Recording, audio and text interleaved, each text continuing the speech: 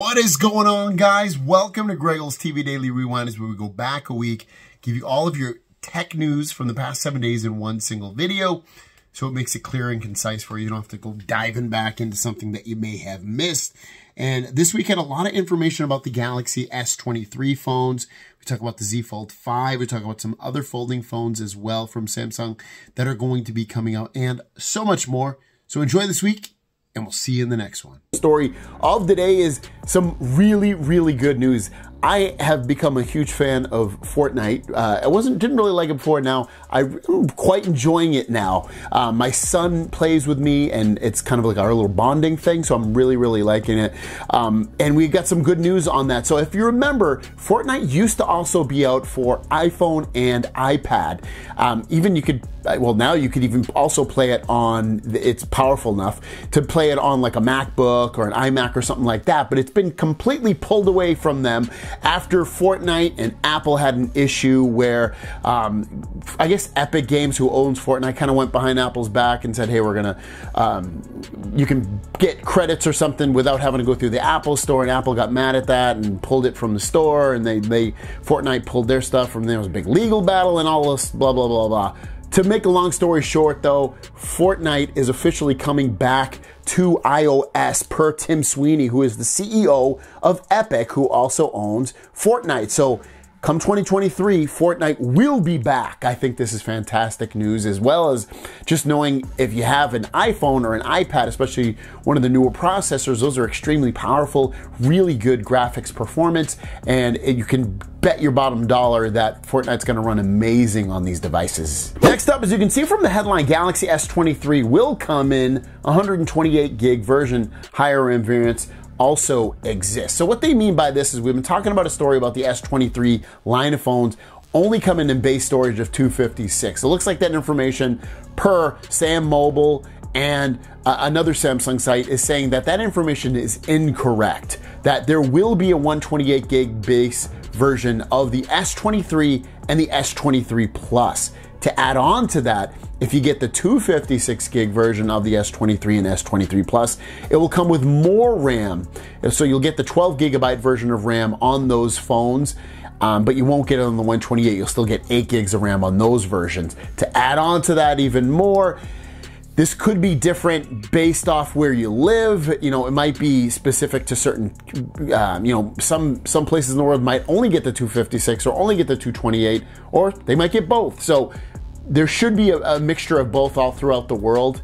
Um, but looks like the 128 gig version that was reportedly completely kaput and removed is still alive and will still be around. But the icing on the cake is that if you do get the 256, you should also get 12 gig of RAM, 12 gigabytes of RAM internally. And our last story of the day, coming from Ahmed, just a uh, a recap is that the Galaxy S23 Ultra will have a 6.8 inch QHD plus resolution, dynamic AMOLED 2X display, and it'll be able to run through 1 through 120 hertz.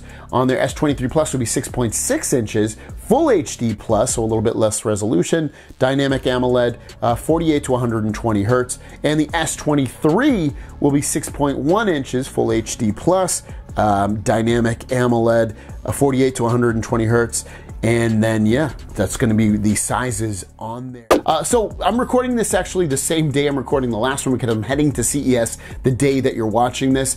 And I did not want to just throw a video in and have to break up my day in there. So uh, uh, you'll see a new video or different clothing at the very least uh, the next time you watch me. But anyways, first story of the day has to do with a really, really cool um, look at how games look on the Oppo Find N2, especially when they're optimized for that big, weird, weirdly shaped display. This information comes from Ben Geskin, and this is what the optimized games look like on an Oppo Find N2. The field of view is not cropped in width, but added to the top and bottom. Unfortunately, most games are not optimized yet they cut the sides, but here's a look. I believe this is PUBG, if I'm not mistaken, and you can see between the two different views that it actually looks a lot nicer on that bigger display, as you would expect it to, and it just be, that's the one thing we've got to get with these folding phones is we have to get more apps and games optimized for that display so they don't cut off weird spots and they take full advantage of that bigger display. But I love seeing this, like the side-by-side -side comparison,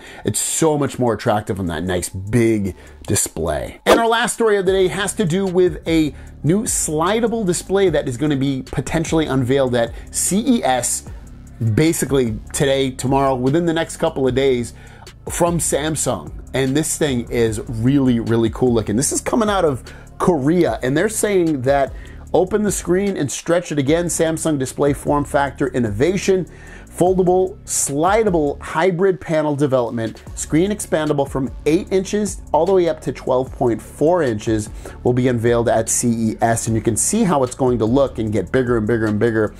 And you just by basically sliding it out. And obviously, if it's going to be this big, I mean, I guess it could be a phone, uh, then turn into a tablet, but I really think it's going to end up being a tablet if they do release this as a full product. I can't imagine they're going to release a, a phone with a ultimately a 12.4 inch display. It just seems. I, I, would I be happy with it? I'd be completely fine, but I just can't imagine they will do that. So I think this will come out as a tablet uh, when it does come out, but it's pretty cool stuff, and I can't wait to actually see more of this, especially if it launches at CES. We only have one story for you today. I currently, though, before we get into the news, am in Las Vegas. You can see, I forget the name of that hotel. What's the name of that hotel? Luxor. Well, we're in Luck. Well, we're. Well, I shouldn't tell you where I am, but whatever. Yeah. Anyways, Excalibur. That's Excalibur. So I'm here in Vegas for CES. It's the Consumer Electronics Show where they companies show off all their newest like gizmos and gadgets and um, products that may or may not ever come out or are coming out really soon or are out. Um, so if anything catches my eye, I'll make a video on it. Um, but otherwise, if you want to see something specific here, let me know in the comments down below. Maybe I can, you know, maybe I'm not thinking about it or I won't see it and I can check it out. But the story I wanted to talk about today was all about the Pixel Fold.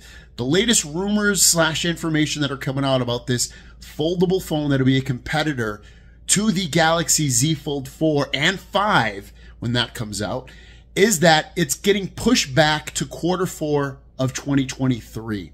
Now, I heard something a I'd say a couple months ago, and I asked this person, I was like, "Hey, is the Pixel Fold coming out?" And they went, huh, nudge, nudge. Um, and they and, I, and when I was like, "Oh, it's coming out in March or May," and they kind of like said, "No, it's probably going to come out uh, around the same time as the Pixel 8 8 Pro." Now, this kind of lines up with that. This latest rumor, something I heard months ago, is also again lining up with this latest rumor that it's going to be released and pushed back to quarter four of 2023, which I guess kind of makes sense because they generally release their new phones, especially the Pixel 8 and 8 Pro, their premium phones, in October of the year. So it looks like if you were waiting for the May release of the Pixel it looks like we're going to have to wait, at least based off this rumor, that you'll have to wait until probably October, November. I doubt December. So October, probably November or 2023 before we can get on it, which puts it in direct competition with the Galaxy Z Fold 5 because Z Fold 5 will be out in August or September at the latest. And that phone, who knows, maybe a completely different look to it. Obviously, really, really nice specs, great camera, really powerful processor with that Snapdragon 8 Gen 2.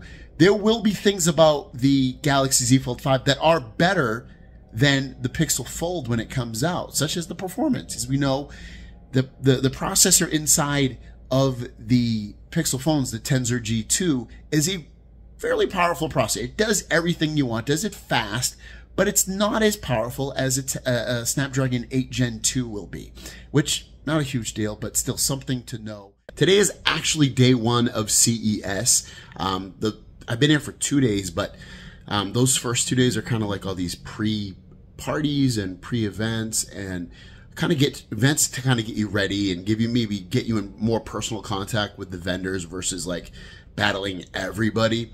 Um, so again, today is the very first day of that. So if you see anything cool, I'll post it on like Instagram or maybe a YouTube short. Uh, so keep your eyes peeled that. If you want to follow me on social media, it's Greggles TV everywhere at Twitter, at Instagram, at TikTok, and on YouTube, of course. So today's stories are all about the Galaxy S 23 Ultra.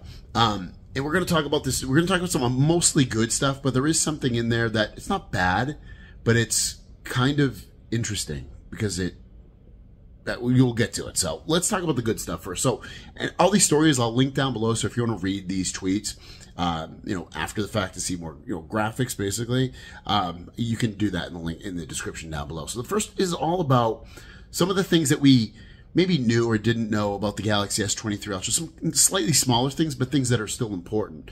Um, so first of all, it will include Gorilla Glass Victus 2. So it's going to have that ultra um, durable glass. You know, does it mean it's not going to break or scratch ever, ever, ever? No, but it just means it's going to be, you know, one of the best yeah, that that's currently available, the best that's currently available. Um, it's going to have an armor aluminum frame. So if you drop it again, it's going to be a little bit more durable. IP68, which hasn't changed, has been that for years now, which means um, it can go underwater and uh, it's dust resistant. Uh, not forever, but you know at certain levels. It's, it has AI VDIS front and back optical stabilizer. So it sounds like the it not only has optical stabilization, but it also has, I guess, I don't know if the AI is just the branding or artificial intelligence, but obviously it has uh, front and back camera stabilizers. DDR5 RAM, which is, I don't know if it, I think that's the best RAM. I don't think they have DDR6 yet. I could be wrong on that, but DDR5 RAM, so ultra fast RAM, uh, 200 megapixel optical, optical image stabilization, and two times wider and better double. So basically, it's got that new camera, which, which we've talked about, 200 megapixel camera, up from the 108 megapixel camera currently on their Ultra phone. Cameras DX, so the camera glass protection layer is Camera DX. Uh, back camera has artificial intelligence, which, let's be honest, it kind of always did. So that's not really anything, but supposedly we've heard it's improved, which is always great. Um, some of the stuff that Google does with their cameras and what we, why I personally like it so much is it does have artificial intelligence built in there. It's got computational photography, which improves the look of the photos. You can take a low megapixel uh, maybe even a, a, not a great camera overall, and get some beautiful photos. Um, Pixel does a great job at that, and it seems like Samsung's improving in that based off of some of the rumors that we're hearing. Super HDR for your photos on there, um, which again, great. So you get, you get more you know dynamic photos on there with you know blacks and colors and things like that. Now, getting to the story of where things get a little uh, again, not bad, but just something to be like, yeah, why, you know, why didn't they go for the best on this? That's what's kind of weird. So the tweet comes from Ice Universe, and he goes, unfortunately, Samsung's flagship smartphone screen lost to the iPhone 14 Pro for the first time, which, and we'll get to into that in a second, but it's weird that he says that because Samsung makes their own displays, but they also make the iPhone display. So like, why wouldn't they give themselves the best display? So basically, it sounds like what happened is, if you remember, the brightness on the S23 Ultra is going to be 1750 nits of brightness, and iPhone, if I'm not mistaken, is at 2000, and that's just you know 2000. It's not. It doesn't have to reach a certain thing. Like you turn up the brightness, it gets to that. Now, he goes on to say that no one can surpass the peak brightness of iPhone 14 up to 2400 nits. So I guess it's 2400 nits. I'm sorry iPhone 100, iPhone 14 Pro is 2400 nits, and the the Galaxy is 1750, and so it's not as bright. Now it doesn't mean it's a, the display is awful. It doesn't mean you're not going to be able to see it. It just means iPhone's going to continue take continuing to have the brightest display overall by a pretty large margin, which is kind of surprising. I still feel like when I look at an iPhone, I look at a, a Galaxy phone, no, no, matter what lighting setting, have it be outside or whatever, I don't know. It just seems like to me Samsung still has a brighter display, even though it might not anymore.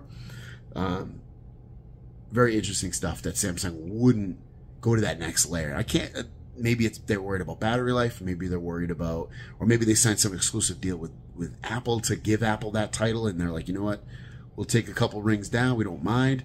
Maybe it has to do with uh, pricing.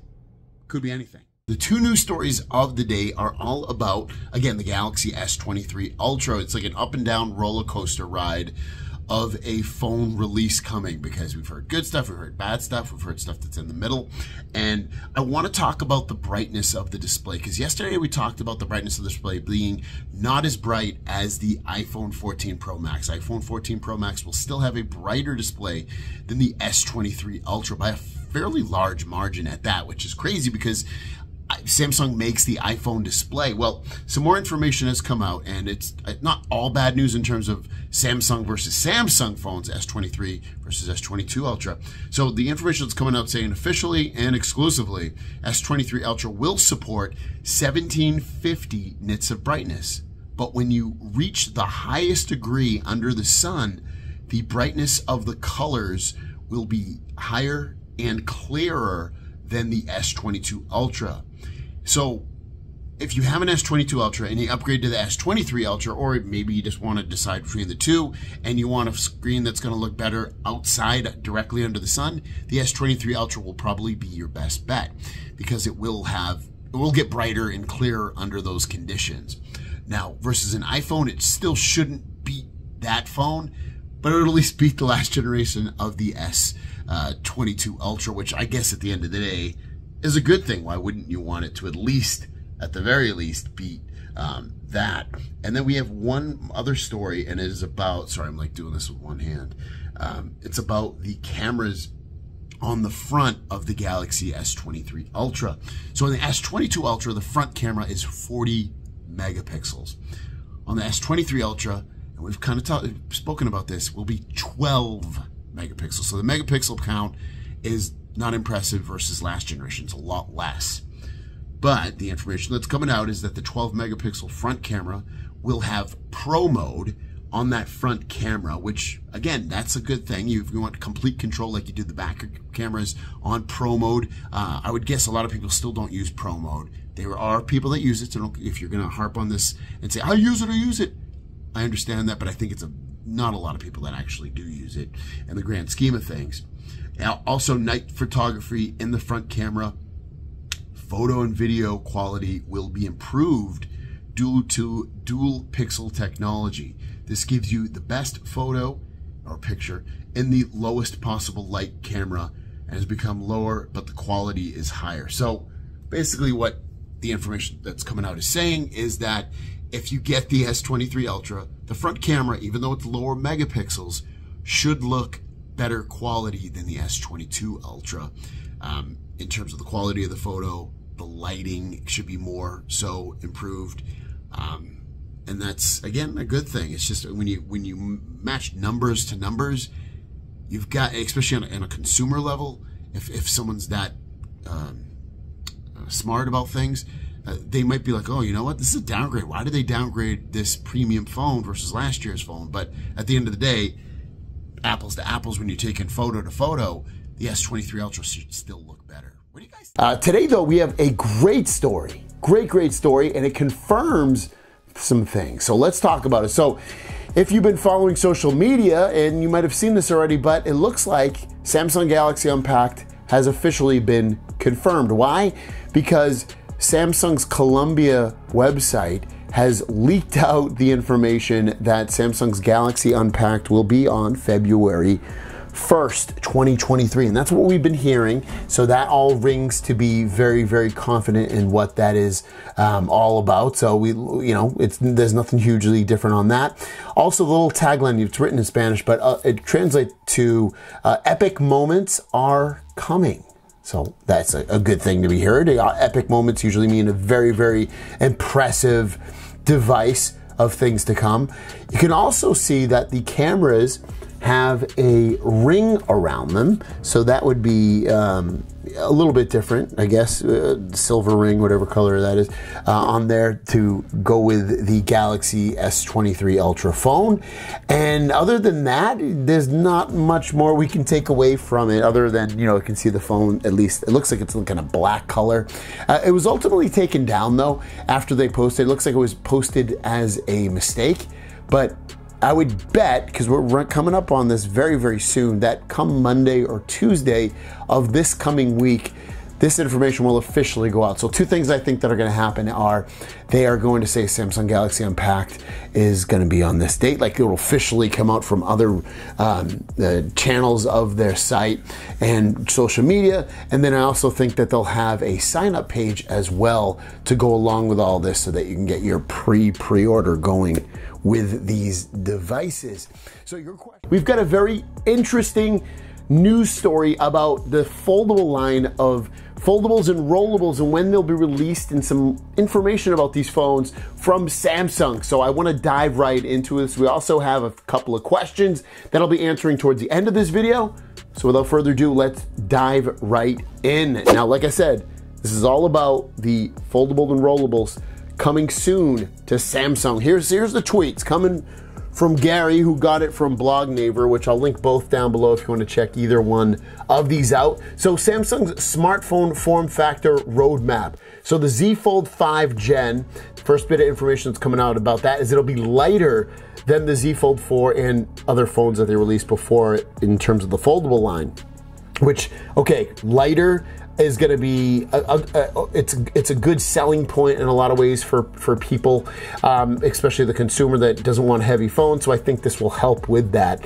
Um, lighter to me sounds like either the specs are going to be down a little bit, or the, the battery is going to be smaller, or something like that.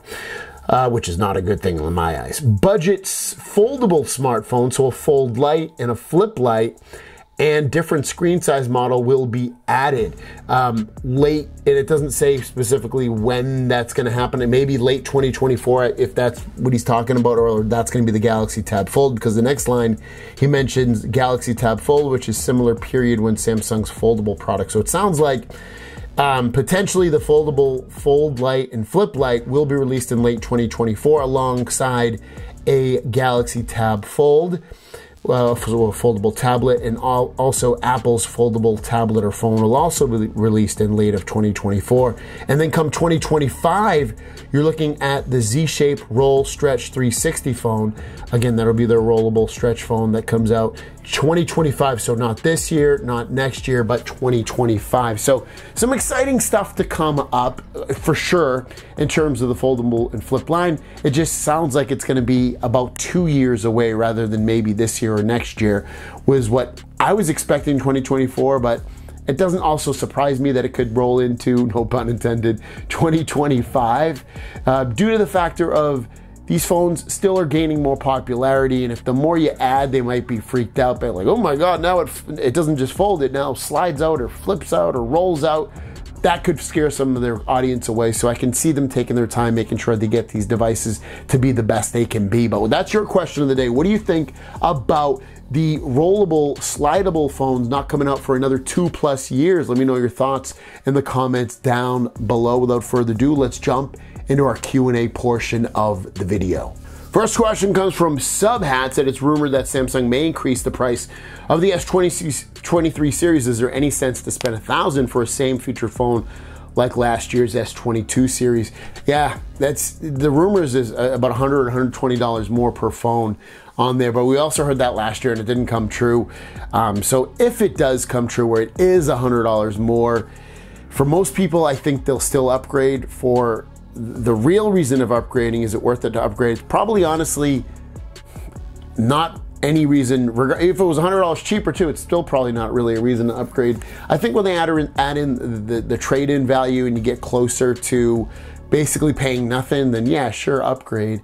But if you have to pay brand new out of the pocket, and you don't want to trade or you can't trade your phone, I'd probably say don't upgrade based off, again, this is very preliminary information. And our last question from MSOG24 when pre ordering with trade in, can I return the phone to Samsung store? Um, that's a great question. You probably can, but I don't know why you wouldn't just want to ship it off to them. Uh, unless you're worried about it getting lost in the mail or them denying it because they said it wasn't in the box. But if you follow my steps, take a, a, photo, uh, take a video of everything you do when you're returning it, including dropping it off and boxing it up and all that stuff. You should be safe. Uh, I would rather just ship it off unless you live right next to a Samsung store, which of course you can just go ask them. Thanks for watching. Have a great day. If you have a question, leave it in the comments down below with the hashtag question. We'll see you down the road. Peace.